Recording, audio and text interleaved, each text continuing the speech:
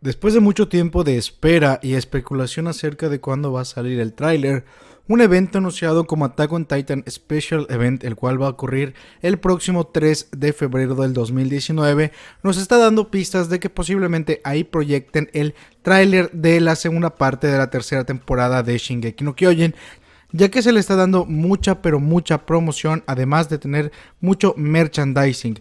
Este evento es conocido como Anista en el cual van a participar dos personalidades muy importantes que participan en la producción de Shingeki no Kyojin, las cuales son Hiroshi Kamiya, mejor conocido como el actor de voz de Levi Ackerman y también Tetsuya Nakatake, el cual está muy pendiente de la producción del anime, ya que aparece junto a Tetsuro Araki en varias entrevistas, así que él como productor del anime es súper importante, pero también está Kyoji Asano, el cual es el encargado de diseñar los personajes para el anime específicamente, dándole ciertos retoques a los dibujos de Hajime Isayama.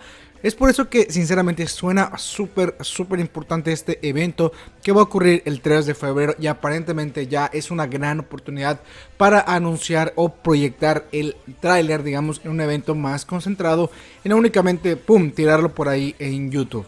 Es por eso que sí, es súper importante estar al pendiente de este evento, a ver qué va a ocurrir. Y posiblemente, por lo que se está comentando, sí, tentativamente ese día saldrá el tráiler durante ese evento. ¿Emocionados?